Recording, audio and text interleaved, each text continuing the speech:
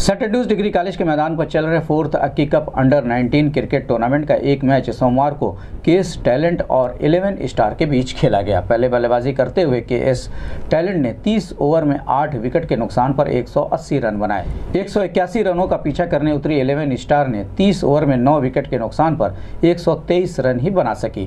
के S talent ने इस मैच को संतावन रनों से जीत लिया।